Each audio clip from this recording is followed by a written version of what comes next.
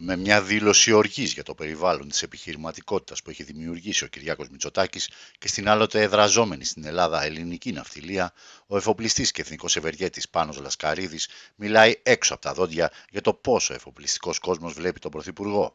Συγκεκριμένα, ο Πάνος Λασκαρίδης σε δημοσιογραφική έρευνα του οργανισμού EIC European Investigative Collaboration με τίτλο Black Trail για τις παραβιάσεις των περιβαλλοντικών όρων λειτουργίας από εφοπλιστές που φιλοξένησε δηλώσεις του είπε χαρακτηριστικά. People who are in shipping don't need the Greek government, don't need the ministry, don't need the IMO, don't need the prime minister. They can shit on the prime minister. Οι εφοπλιστές δεν χρειάζονται την κυβέρνηση, το Υπουργείο, την IMO, εννοώντας το International Maritime Organization και τον Πρωθυπουργό, δήλωσε, συμπληρώνοντας μάλιστα ότι έχουν χεσμένο τον Πρωθυπουργό, για αυτούς δεν έχει καμία χρησιμότητα. Γιατί; Επειδή η ναυτιλία δεν έχει καμία σχέση με την Ελλάδα.